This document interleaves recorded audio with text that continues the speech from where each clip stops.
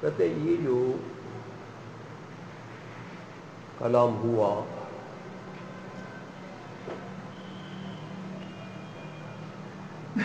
اور یہ جو بات فرمائی ہے ماتن نے کہ وہ شور تعلق تعریف نے والعکس۔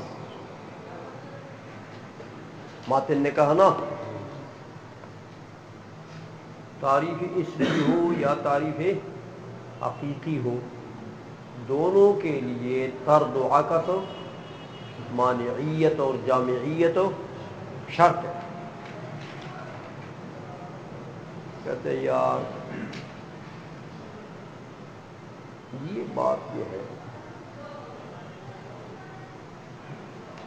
پہلا اعتراض تو اسی پر ہے۔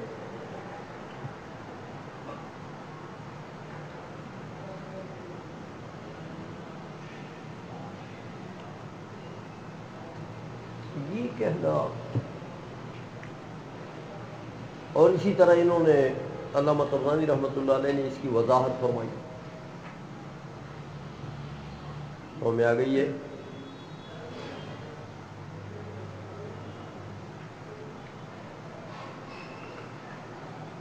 اس عدم الاضطراد مفسد له اسمیا کانا او غیرہ یہ اوپر کے علامہ تفسانی کی کلام میں دیکھا۔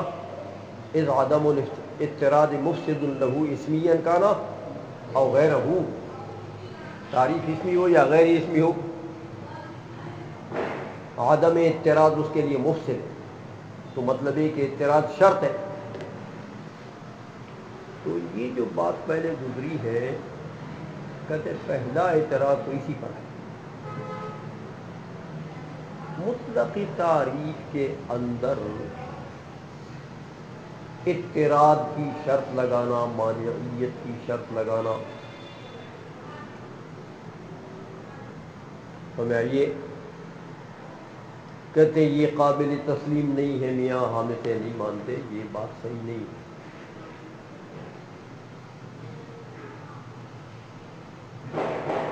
بالخصوص تاریخ اسمی میں اعتراض شرط لگانا، یہ تو بالکل ٹھیک نہیں۔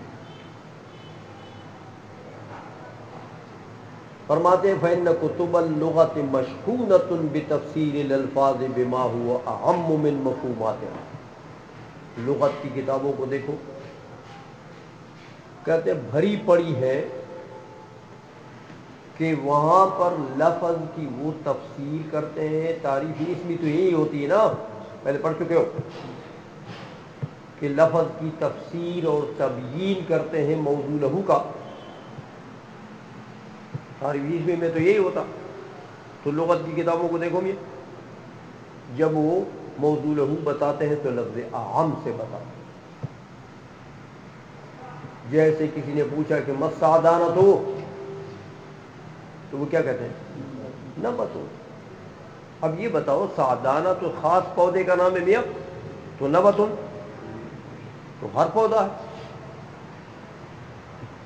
تو تعریف بالعام جو ہے میاں، یہ لغت کی کتاب تمام کتابیں بھری پڑی۔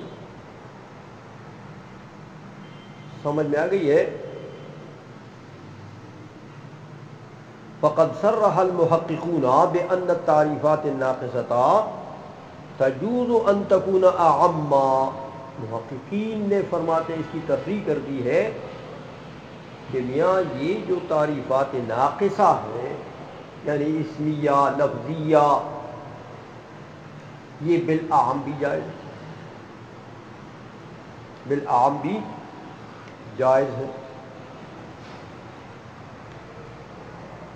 بالعام کا کیا مطلب؟ بحیث لا تشید الامتیاز الا عن بعض ما عدا المحدود، کہ جمی ما عدا سے امتیاز نہیں دیتا محدود کو، بلکہ بعض ما عدا سے امتیاز دیتا ہے۔ تو میں آ گئی ہے۔ یہ تو میاں کتابیں بھری پڑی ہیں اس پر فَإِنَّ الْغَرَضَ مِن تَفْسِيرِ الشَّيْءِ قَدْ يَكُونُ طَوِيلُهُ قد یقون تمیز ہو ان معین کبھی مقصد ہوتا ہے محدود کو، معرف کو کسی معین شے سے ممتاز کرنا۔ جمی مادہ سے ممتاز کرنا مقصود نہیں ہوتا بعض معین شے سے۔ تو میاں ایسا قید وہاں پر لے آتے ہیں کہ صرف اسی معین شے سے احتراز ہو جائے۔ بس۔ سمجھ میں آ گئی ہے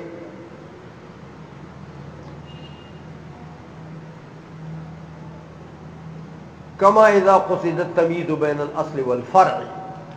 مثال دیتے ہیں جیسے دیکھو، اصل فرع کو آپ ممیز کرنا چاہتے ہیں ایک دوسرے سے۔ کیا اصل کون ہوتا ہے، فرع کون ہوتا ہے؟ تو آپ تعریف کرتے ہیں، اصل کہ یار اصل جو ہے نا، وہ محتاج ہوتا ہے۔ اور فرع جو ہے نا، وہ محتاج ہوتا ہے۔ اب دیکھو، اصل کی تعریف آپ نے محتاج تو محتاج عام نہیں ہے اصل سے؟ عام۔ محتاج عام نہیں ہے فرا سے۔ تو یہ تعریف بالعام تو۔ میاں تعریف اسمی میں، تعریف لفظی میں یہ تو معروف چیز ہے۔ اس لیے یہ کہنا کہ کسی بھی قسم کی تعریف ہو، بس اس میں اعتراض شرط ہے یہ کہنا ٹھیک ہو نہیں۔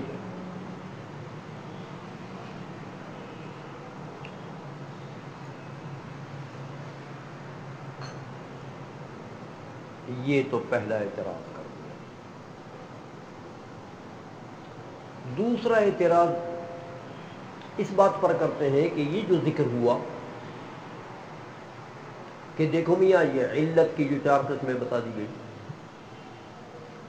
کہ علت کی چار قسموں میں سے ایک پر اصل صادق آتا ہے۔ علت مادیہ پر یاد ہے۔ لیکن باقی جو تین ہیں، ان کے اوپر اصل صادق ہو۔ نہیں آتا کہتے ہی اس کا تو مطلب یہ ہوا کہ علت فاعلیہ پر بھی اصل صادق نہیں آتا۔ حالانکہ یہ بات غلط فاعل جو ہے میاں، وہ اصل ہے۔ تو میں آ گئی ہے؟ اس لیے فرماتے ہیں کہ اسانی من صدق الاصل علی الفاعل۔ میں آئیے کہ یہ جو کہا تھا کہ اصل کا لفظ فائل پر صادق نہیں آتا، اس کو ہم نہیں مانتے۔ ہمیں آئیے کیفا والفعل مترتب علیہ ومستند الیہ فاعل اصل ہے۔ کس کے لیے؟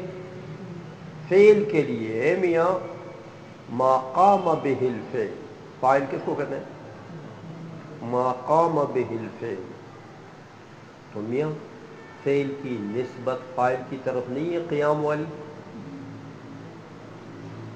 فیل جو ہے، یہ مرتب نہیں ہے فائل کے اوپر. تو اے میاں، اصل کے کوئی سین تو نہیں ہوتے؟ اصل وہی ہوتا ہے جس کی طرف شے کا استعداد ہو. اسی کو اصل کہتے ہیں. تو میں آ گئی ہے۔ تو فائل کی طرف فیل کا استراد بھی ہے فیل اس کے اوپر مرتب بھی ہے۔ ولا مانا ابتنا اللہ کا ابتنا کا تو یہی مانا ہوتا ہے۔ کسی کا استناد ہو مایوبتنا علیہ غیر غیر اس کے اوپر مبتنی و مبنی ہو، کیا مطلب؟ یعنی اس کے، اس کا استناد ہو اس کی طرف۔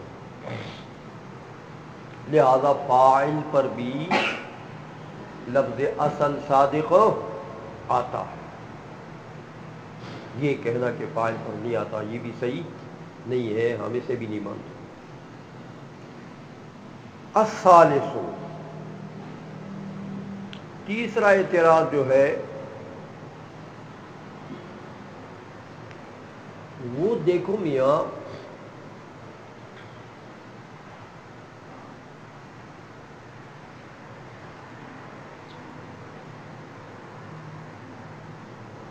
یہ جو ماتن کا کلام ہے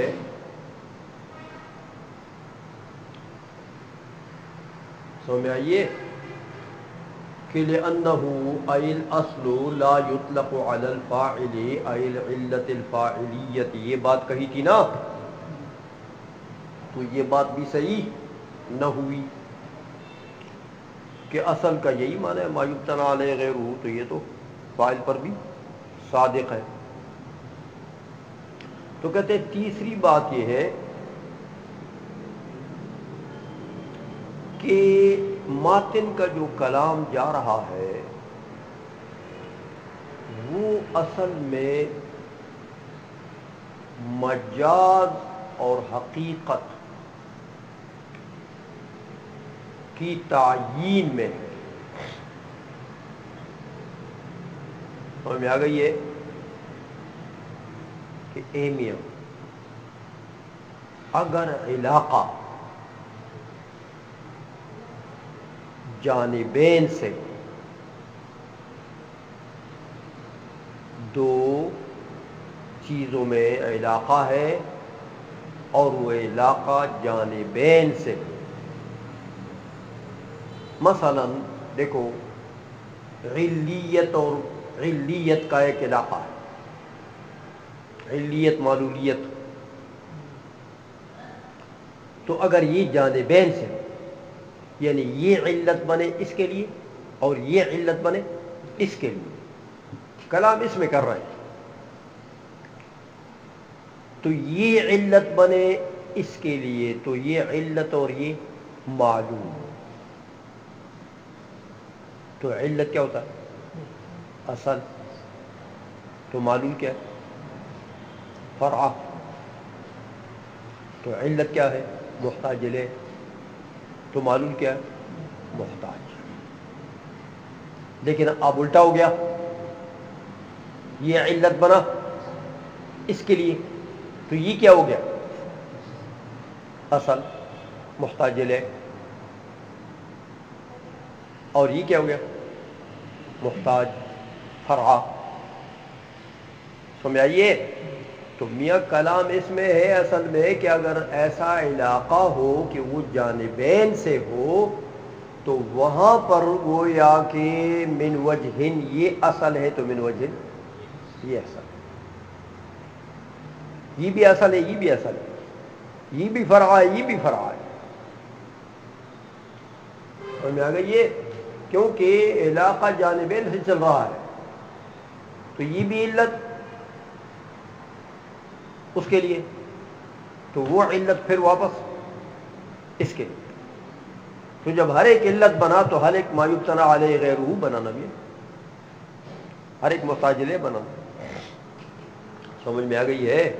اس لیے فرماتے ہیں کہ وہ سالس و کلام حوفی باب المجاز۔ عند بیان جریان الاصالت والطبعیت من الجانبین جب اصالت طبعیت ہاں چلے جانبین سے، جیسے میں نے مثال دی آپ کو۔ سمجھ آئیے تو یدل علی ان کل محتاج الیہ فهو اصل، ہر محتاج الیہ اصل ہے۔ لہذا یہ بھی من وجن اصل ہے اور یہ بھی من وجن اصل ہے۔ سمجھ میں آ گئی ہے؟ تو گویا کہ وہاں پر اصل بمانا محتاج لے ہو گیا۔ ہاں تو اصل بمانا محتاج لے پر انہوں نے اعتراض کر دیا کہ یہ تو دیکھو عام ہے۔ سو میں آ گئی ہے کس سے؟ اصل سے۔ کہ ہر محتاج لے جو ہے وہ تو اصل نہیں ہوتا۔ جیسے یہ مثال دے دی آپ کو، یہ علل کہ علت دیکھو محتاج لے لیکن اصل نہیں ہے۔ علت غائیہ دیکھو محتاج لے اصل نہیں ہے۔ شروط دیکھو محتاج لے، اصل نہیں ہے۔ تو کہتے ہیں، یار وہاں پر ذرا رحم کرو، وہ کلام چلا رہے ہیں اس جگہ میں جہاں علیت و معلولیت جانبین سے ہو، علاقہ جانبین سے ہو۔ وہاں ہر ایک محتاج لے بھی ہے اور تو محتاج بھی ہے، اصل بھی ہے اور فرق بھی ہے۔ اصل بھی ہے اور تبا بھی ہے۔ سمجھ میں آ گئی ہے؟ الرابع اچھا دوسری بات یہ کر رہے ہیں۔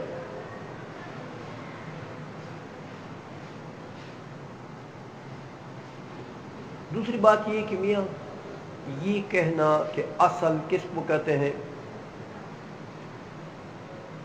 اصل مایوبتنا والے غیر تو تم نے کہا کہ یار علت مادیہ کے اوپر تو اصل صادق ہے۔ یاد ہے کل کل کا سبق ہو۔ تو باقی علت پر اصل صادق نہیں آتا تو علت مادیہ پر ٹھیک ہے۔ اے میاں علت مادیہ پر کیسے ٹھیک ہے؟ اس پر اعتراض کرتے ہیں۔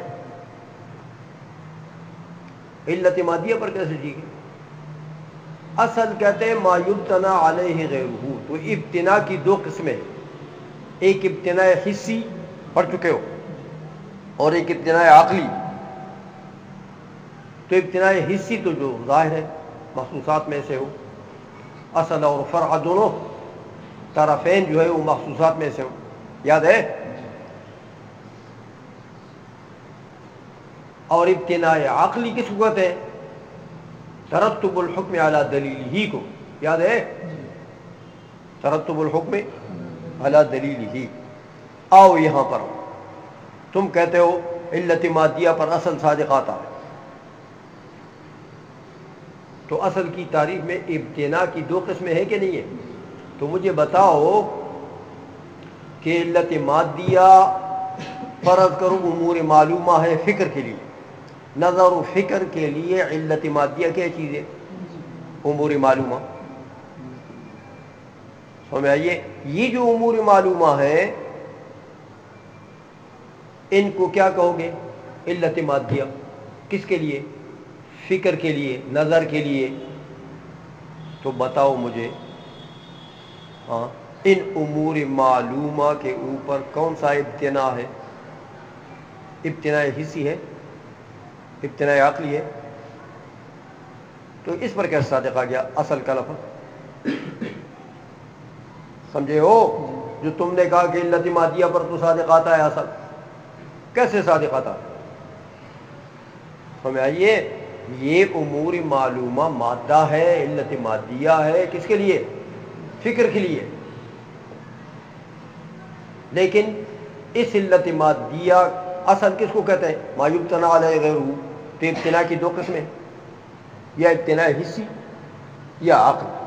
تو یہاں یہ امور معلومہ جو ہے، علت مادیہ تو ہے، لیکن ان کے اوپر ابتنا حصی ہے، فکر کی۔ ان کے اوپر ابتنا عقلی ہے۔ اے میاں، تو کیسے کہتے ہو کہ علت مادیہ پر اصل صادق آتا؟ اور باقیوں پر نہیں آتا۔ سمجھے ہو بات کو؟ اور رابع چوتھا اشکال یہ ہے کہ انا اذا قلنا الفکر ترتیب امور معلومت۔ جب ہم نے یہ فکر کی تعریف کر دی کہ وہ ترتیبی امور معلومہ کا نام ہے، تو فلا شک ان الامور المعلومت مادت للفکر۔ اب اس میں شک نہیں ہے کہ امور معلومہ جو ہے یہ فکر کے لیے مادہ تو بن گیا۔ وہ اصل لہو۔ اور آپ نے کہا کہ اس کے اوپر اصل کا بھی اطلاق ہوتا ہے۔ لیکن دیکھو میاں، مع ان ابتنا الفکر علیہ ہاں فکر کی جو ابتنا ہے ان امور معلومہ پر، یہ لیسا حصیت حصی تو ہے نہیں، وہ ظاہر۔ ولا عقلی بتفسیر المصنف رحمہ اللہ تعالی۔ کہ مصنف نے ابتنا عقلی کی کیا تعریف کی؟ وہ ہوا ترتب الحکم علی دلیل کی تو یہاں کوئی دلیل اور دعویٰ ہے؟ سمجھے ہو؟ یہ چار اعتراضات گویا کہ علامہ تفتزانی رحمۃ اللہ علیہ نے اس بات پر کر دیے ہیں کہ یار یہ ایسا نہیں ہے کہ تم کہتے علت فعالیہ پر اصل صادق نہیں آتا، یہ بھی بات ٹھیک نہیں۔ علت فعالیہ کے اوپر ابتنا ہے نا پھیل کا۔ استناد ہے، ابتنا ہے تو وہ کیوں اصل نہیں ہے؟ ابتنا علیہ غیر اس کے اوپر صادق آتا چلو۔